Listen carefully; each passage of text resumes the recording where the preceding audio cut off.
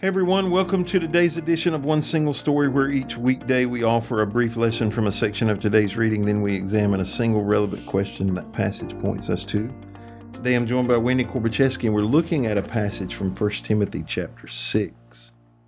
Paul has uh, to address another issue that's cropped up in the church at Ephesus, and um, that is pursuing wealth and, and loving money. Uh, the description um, of those pursuing wealth uh, or who love money, he gives us in 1 Timothy chapter 6. And it says, But people who long to be rich fall into temptation and are trapped by many foolish and harmful desires that plunge them into ruin and destruction. For the love of money is the root of all kinds of evil, and some people, craving money, have wandered from the true faith and pierced themselves with many sorrows. And he tells us some things about people who love money. He says people who love money fall into temptation. People who love money are trapped by harmful desires. People who love money are plunged to run, uh, ruin and destruction. He says the love of money is the root of all kinds of evil. And um, he says some people who love money even have wandered from the faith and they have brought great sorrow on themselves. And he sets this charge up um, by the way of contrast. So he, he, he charges Timothy. He said, But you, Timothy, are a man of God. So run from these evil things, pursue righteousness, and live a godly life, along with faith, love, perseverance, and gentleness. Um, the subject of Paul's instruction is based on the fact that he calls Timothy a man of God. And it, it, and it contrasts, this challenges Timothy to become what he already is in Christ. He doesn't just encourage him to run from evil things, but he tells him to run toward or to pursue righteousness. And holiness is this uh, contrastive characteristic. It's the exact opposite of the world around us. Holiness finds its expression in an unholy world. And so the Christian life is a continual process of flight from and pursuit towards, a flight from unrighteousness and a pursuit toward holiness. So, um, Wendy, holiness before God is a contrast to the world. Mm-hmm. Um, how difficult does that make the Christian life? I mean, the whole concept of holiness or being set apart is difficult, period. Um, and it's something that we need to understand is not doable on our own think that's a trap a lot of t- we fall into a lot of times um, believing that um, it's a, a, kind of a a spiritual checklist that we have to do. I can do this thing to be holy. I can ch- I can you know accomplish this task, and I've I'm working towards holiness. Um, of course, there are some spiritual habits that you need to to enlist in in order to create a lifestyle of holiness. Um, but to achieve holiness is not a work of your own. Mm-hmm. Um, and so living in and among the world and um, setting your setting yourself apart from the world, but be, being um, in the world but not of the world, um, becomes a, a kind of a, a, juggling act. It becomes a, a real fine um, balance. Next week, we'll talk about uh, how frustrating it can be to see people who are unrighteous and wicked prosper mm. while we feel like we don't. Right. Sometimes it's not about prospering or not prospering. Um, sometimes it is um, we're frustrated because we can't do some of the things that other people do. Mm-hmm. You know, when I was younger, some of those things would have been like I couldn't wear shorts, I couldn't go to the beach, mm-hmm. I couldn't go to the movies, you know. Um, but the reality is, some of that still has to be a contrast for us today. Right. There still has to be some kind of like differentiation. Yeah, like you, you can't explain your your your there are some things you just shouldn't do, right? I um, had some connection with a pastor. When I say connection, I had been on a trip that he was a part of Mhm. a number of years back. And um, I doubt most of the podcast listeners would know him. I don't think they would. I don't, I, I don't think anybody even on staff would know who he was except Jay. Um, but in, anyway, there, there came a time he and his wife separated. He was Mhm. pastoring a church um, in Tennessee, and he and his wife had separated. and He had filed for divorce, and um, some of his staff got to suspecting that he and his assistant were. It was a strange relationship. Right. So they showed up at his house randomly, like eight or ten of them, and um, find him and his assistant mostly undressed. And what he says to them, what the story they weave is that they were cooking chili, got chili all over their clothes, and they were washing their clothes. You know, um, and it, I, I shouldn't chuckle. Some lies are terrible. Like you know, just own it, right? At that point. Yeah, just own it. Yeah, making it worse. Uh, And, and since he's resigned, the church has kind of come unraveled. There's not much left of it at this point, eh, which is really sad. Let's say, okay, let's say that what they said was the truth. You shouldn't put yourself in that situation, No. right? no. I mean, and they're both. She was married; he was not at this point. Mm. He's divorced, but you shouldn't put yourself in that situation. And I mean, you just shouldn't get undressed. I mean, it's his house; he ought to have his own clothes, right? You know, he, he could have put some more clothes on. Absolutely. And and it, it it just brought kind of flashes back of the that whole series we did and study we did from Andy Stanley that whole guardrail series. It's not um crossing those lines. This goes way before the line. It's setting up those fences way before you ever get to the thing that's going to cause the problem. Yeah, because if you've crossed eh, that guardrail, you're in such danger now that there's not a lot of turning back. right. You know, and we we can like it or not like it. You Mhm. know, we can, but there are just some things we we we shouldn't do, can't do, have to be careful about. Right. And th- sometimes we see that as like a like a punishment, how unfair they get people not trying to be holy get this blank check. But you got to understand there's a consequence to that. Mm-hmm. All you see is them doing whatever and uh, enjoying themselves or having fun or whatnot. But there's a price to pay. Sometimes it's an immediate price to pay Right. sometimes it's not and those are the unfortunate cases when it's not an immediate price to pay i think those are the worst because you feel like well there's nothing wrong with what i'm doing. There's no immediate consequence. I can just continue on. Sin always has a price and That's it right. always impacts more than just you. Yeah. it always impacts more than just you. And you don't realize the influence that you're having on other people because whatever it is they see you doing, hmm um, they're going to take a step further.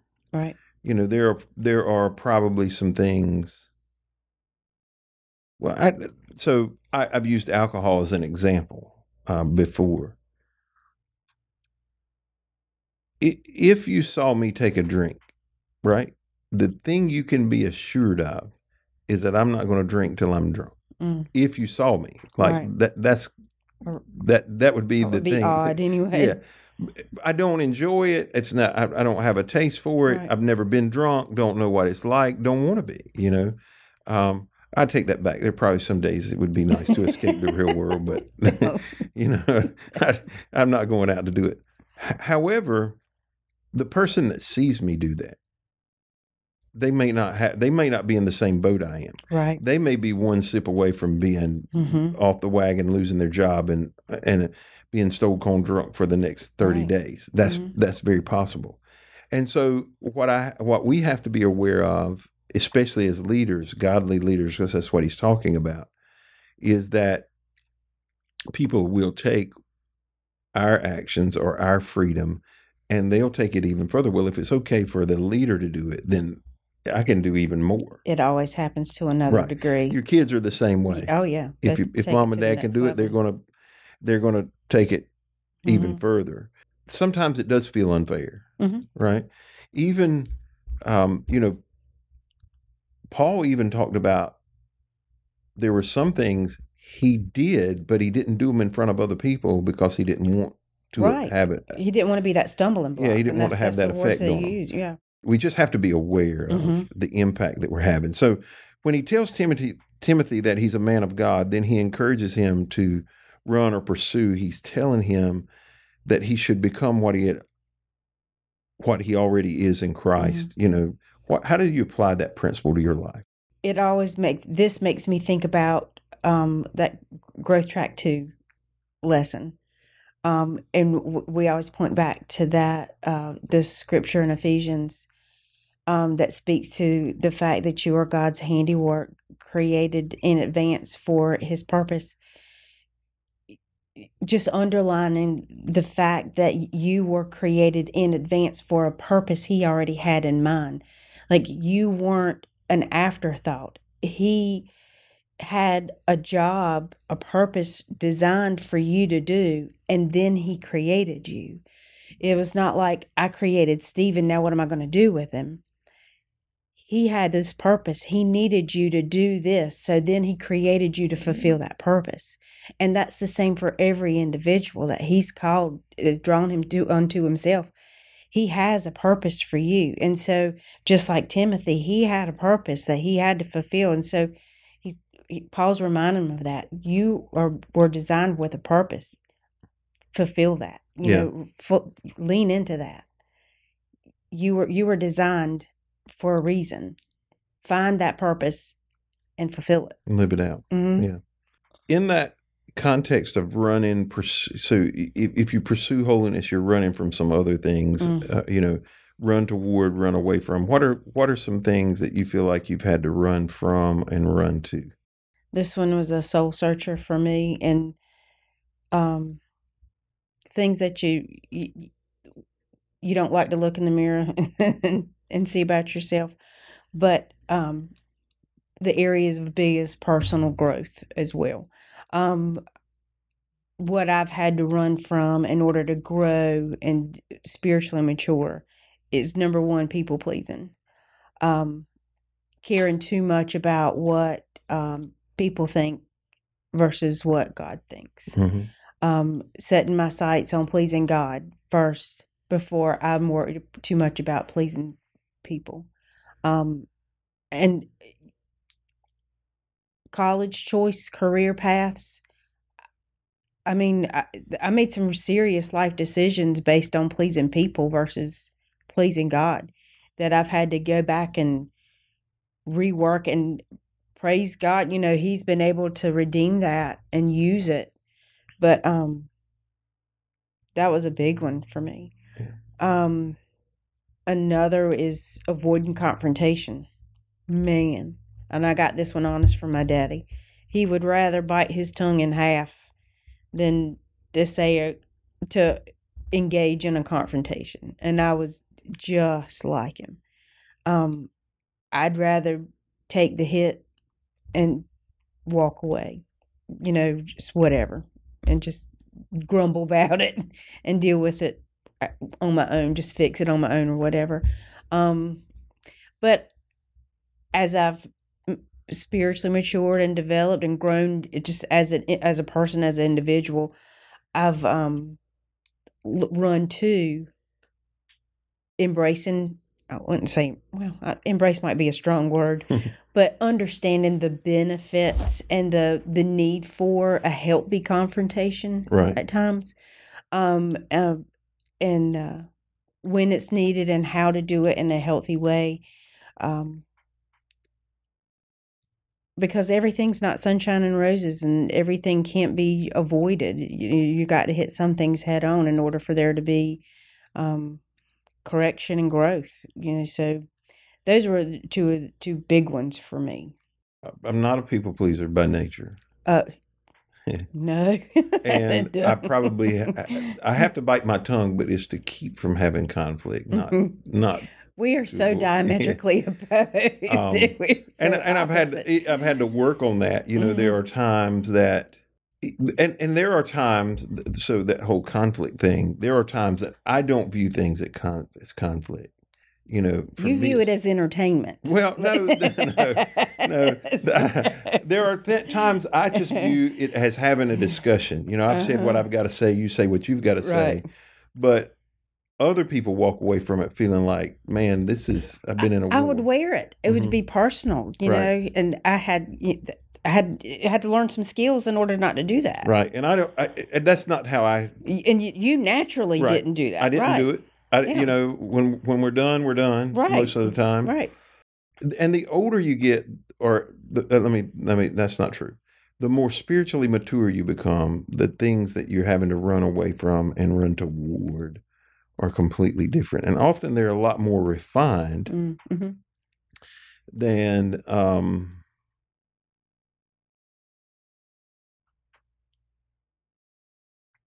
they might would be In your eh, twenties. yeah or 30s or 40s Yeah. either one Yeah. the funny thing is like i can i, I think I, I don't mind saying this this is a re-record of this day's podcast hmm um, because we touched on an issue and i that 10 years ago i probably would have said yeah whatever you know there'll be people will be fine but the more i thought about it the more i realized okay that might not be the best way to present that. So Mhm. let's let's you know look at it a, a little bit different. And that is it- it wasn't like i don't i mean there would be some people who could make it a right or wrong issue. I don't think it is that but i think that you um you you ask yourself a different set of questions the more spiritually mature you get you know when you're Right. spiritually immature you ask the only question you ask is is this right or wrong hmm and sometimes it's not a right or wrong. Sometimes this is okay. This is not the best. Um, I I I, I could give you another example that uh, that really has nothing to do with you or, or I. We another church had done an a movie at at the movies. I don't know how they pulled it off, hmm right? hmm Because there was a lot of curse words in it. But there was a situation in it that for us we were like, nah, this is a non-starter. We can't we can't we can't use this movie It just was not wise. right it would it would have been in probably any other environment it might Right. would have been okay but Mm. for our environment okay this isn't going to work and we we should just stay away from this and it, it wasn't a right or wrong thing it was okay we've got to we've got to make some choices to pursue the right thing you know Mhm. righteousness It's like your field of vision gets a little broader. hmm It's like you get to see things a little further up the more you are running towards holiness. It's, Yeah. it's a more vertical Oh, view. Uh, it's certainly more clear. You know, Mhm. it's like the difference. So I I can read perfectly fine. As a matter of fact, I will take them off to read Mhm. because it it's not that I can't read with them on. mhm. It's that it just it's I don't like it. I don't Right. like reading with them on.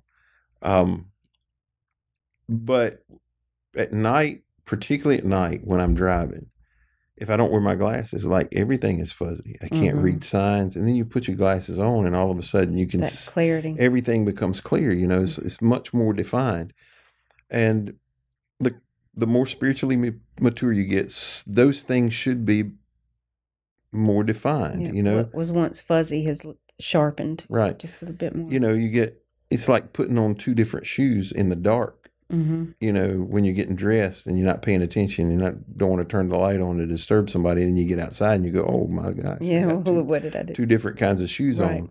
It it just brings clarity, and I think I think there should constantly be, if you're running toward God, you're going to be running away from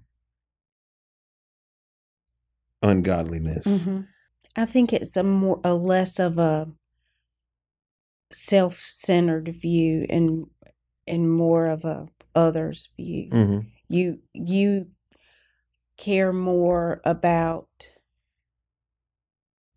how it will spiritually impact other people.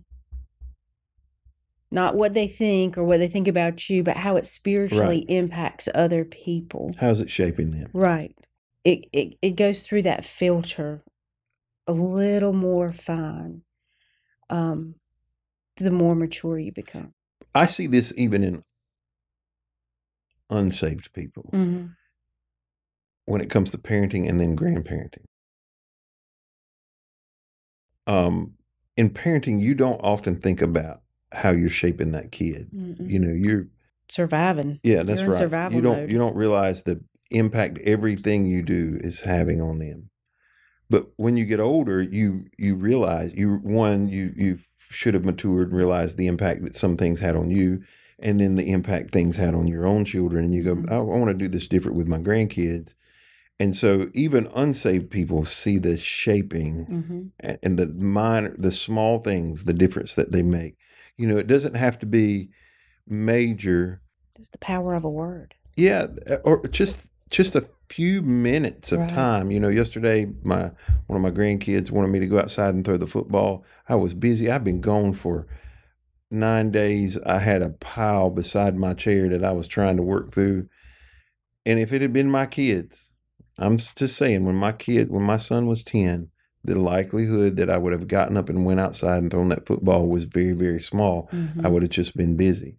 But I stopped what I was doing because I know right. that it's a, it's a shaping moment. And when it, when we talk about godliness and ungodliness, it's not just the effect that it has on the relationship with us. It's the impact that we're having on the people behind us. And if we realized how what we were doing was shaping them, it might change the behavior. Well, thank you for joining us today on this edition of One Single Story. We hope you'll be back with us tomorrow as we continue our conversation around our daily Bible reading.